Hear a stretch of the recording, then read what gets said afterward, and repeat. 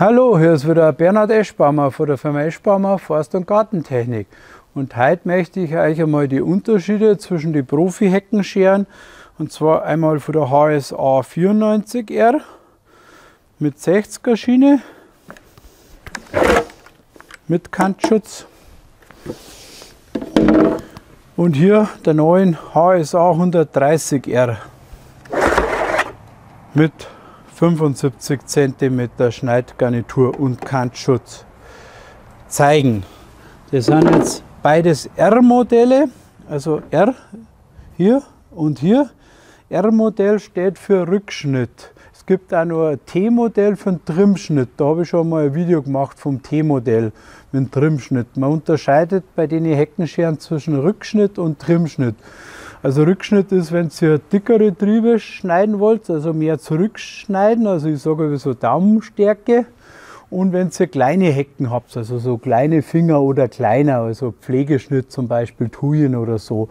Trimschnittversion ist halt bei den meisten Modellen von der Schnittgeschwindigkeit entweder entsprechend schneller oder kann man schneller stellen äh, Rückschnitt ist in der Regel von der Schnittgeschwindigkeit, also Messergeschwindigkeit, äh, entsprechend langsamer, hat dafür andere Übersetzung, dass er mehr Kraft hat oder kann man entsprechend langsamer einstellen, je nachdem, was für Variante von Heckenschere ihr habt grundsätzlich. Also das sind jetzt beides Rückschnittversionen. Ihr habt da großen Messerabstand, das heißt bis Daumenstärke kann man auch schneiden von der Schnittleistung her. Mehr würde ich euch nicht empfehlen, weil irgendwann geht es halt auf die Messer und auf die Schnittqualität, also wenn es noch dicker wie der Daumen ist. Was wichtig ist, ihr habt bei beiden Modellen einen Kantschutz, wenn man Richtung Boden schneidet, damit man nicht so leicht die Messer kaputt macht. Was halt auch noch ein Unterschied ist, im Profibereich habt ihr doppelt Messer, das heißt oben ist eine Messerklinge und unten auch. Ich kipp's einmal, dann sieht man es schöner hier. Das heißt, zwei Messer schneiden gegeneinander, es werden auch beide bewegt.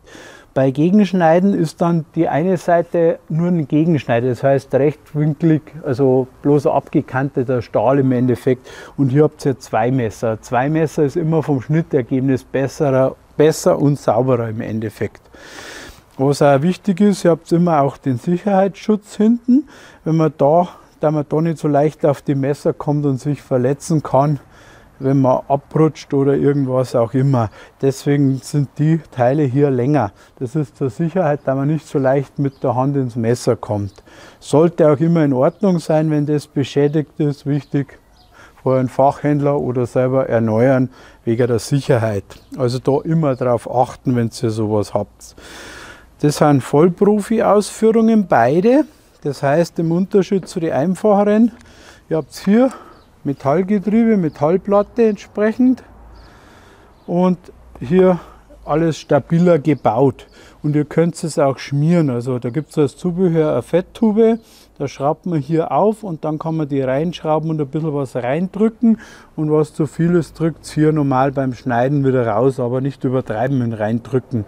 Was leicht reingeht, ist okay, aber nicht drücken, bis alles rausläuft ohne Anschlag, das ist nicht gut. Also da immer darauf achten. Dann habt ihr bei beiden Versionen hier einen drehbaren Griff, das heißt ihr zieht hier den Hebel und dreht es nach rechts oder links. Das irritiert hier auch so. Also gerade oder schräg in die eine oder in die andere Richtung. Hat den Vorteil, wenn ihr jetzt an der Hecke schneidet, wenn das jetzt die Bank die Hecke wäre, dann könnt ihr hier schön runterschneiden und müsst hier euer Handgelenk nicht so verdrehen. So. Also ihr habt hier eine geradere Führung, dadurch der ihr euch wesentlich leichter. Und wenn ihr normal oben schneidet, kann man entweder so machen oder auch so, je nachdem wie hoch die Hecke ist. Also die ist halt wesentlich flexibler. Wie gesagt, Unterschied von der Baureihe HSA 94R ist das Vorgängermodell. Da hat sich aber nur geringe Sachen geändert. Ihr habt da nochmal so eine zusätzliche Wartungsöffnung, die hat das alte Modell noch nicht gehabt. Und halt ein paar Sachen an der Elektronik und Motor wurden überarbeitet. Aber sonst ist das eigentlich vergleichbar, auch von der Leistung und alles sind die Modelle eigentlich ziemlich gleich. Gut, was noch ein Unterschied, äh, was noch bei beiden so ist, also die haben jetzt keinen Akku-Einschub. wie bei den kleineren Maschinen, sondern das ist eine Profimaschine. Dadurch, dass die auch schwerer ist, weil stabiler gebaut war, ist Stiel da hergegangen und arbeitet damit an Anschlusskit. Das heißt, Anschlussset, da kommt der Akku praktisch hier rein. So ein Grettband. Akku hier rein, Profiserie, AP-Akkus zumachen, von der Leistung reichen da die schwächeren Akkus, weil Heckenscher braucht nicht so viel. Und das kann man hier entsprechend entweder an einem stabilen Werkzeuggurt befestigen oder man befestigt es am System von der Firma Stihl. Das ist besser, weil das ein ganz breiter Gürtel ist. Und äh, das Trägersystem ist auch noch dabei. Hier sieht man es nochmal abgebildet, die wo man entsprechend da durchführt. Und dadurch haben wir den Vorteil, dass man weniger Gewicht hat, wo ein sozusagen am Gürtel belastet, sondern durch die Hosenträger ist das Gewicht auf die Schultern wie beim Rucksack. Ist dann angenehmer, wenn man viel arbeiten möchte, was ja bei den meisten Profis der Fall ist, dass die einmal einen ganzen Tag arbeiten. Also da empfehle ich das Originalset entsprechend. Dazu zum Anschlusskit. Geht natürlich auch für andere Produkte. Ansonsten gibt es auch, wenn ihr äh, Geräte von Stihl habt, äh, wo der Akku direkt gesteckt wird, da gibt es auch so eine Box wo man das ansteckt und die Box kommt dann ins Akkuschacht bei den Geräten sozusagen. Das wird bloß hier einfach reingesteckt. Hier sieht man, da ist der Pfeil, da ist auch der Pfeil. Entsprechend hier wird bloß reingesteckt, bis einrastet. Fertig, mehr braucht man nicht machen. Jetzt hole ich noch schnell Akku, dann können wir es noch schnell laufen lassen. Kurzen Moment bitte. So, jetzt habe ich noch einen Akku geholt. Also wichtig ist bloß, ihr braucht einen AP-Akku. Das ist jetzt aus der alten Serie AP 180, aber ihr könnt da die aktuellen AP 300, 300S, 500S oder 200 genauso verwenden. Also das ist egal. Ihr könnt alle AP Profi-Akkus für das System verwenden. Das ist egal, das ist das Schöne vor dem Stilsystem, das ist alles kompatibel. Also hier einfach aufmachen den Grettverschluss reinstecken, bis er einrastet. Dann hier Grettverschluss wieder zumachen, dass da nichts passieren kann. Wir werden jetzt einfach bloß hinsetzen und dann kann man die Heckenschere so aktivieren. Also hier einmal oben drücken und einmal hier entriegeln, da wo das Schlosssymbol ist, hier unten, also hier nach vorne und dann könnt ihr unten einschalten. Und da habt ihr verschiedene Geschwindigkeiten oder besser gesagt Leistung und Geschwindigkeit. Ganz schnell, ganz langsam, mittel. Also heißt, wenn ihr dünne Triebe habt, dann fahrt ihr die höchste Messergeschwindigkeit. Wenn ihr dickere Triebe habt, fahrt ihr langsame Messergeschwindigkeit, dann dert ihr euch leichter.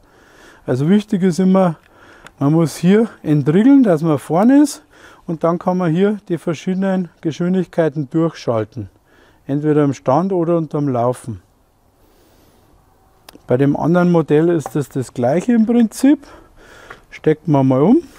Hier kann man wieder ausschalten, nach hinten, dann ist es auch verriegelt und gesperrt, da man nicht versehentlich einschalten kann. Den einfach nach hinten rausziehen, beim anderen anschließen. Da ist das gleiche, aus, entriegelt, beide Hebel drücken und wenn da entsprechend entriegelt ist, kann man einschalten. Da einmal drücken.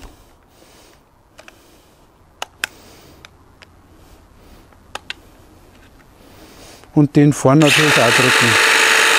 Wenn ihr vorne drückt habt, geht es hinten auch nicht. Also man hat praktisch eine Mehrfachverriegelung. Vorne den und unten einschalten. Halten muss man bloß den unteren dann und vorne.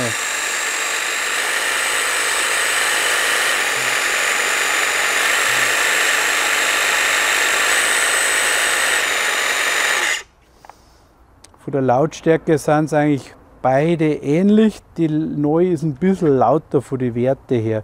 Also die hat 97, die hat 96. Wie gesagt, hier haben wir jetzt das kurze Messer, hier das lange Messer.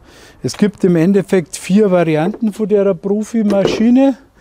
Also die 130er, die aktuelle gibt es als R, also Rückschnitt, als T-Trimschnitt, da wo ich schon mal mit einem anderen Video euch das gezeigt habe.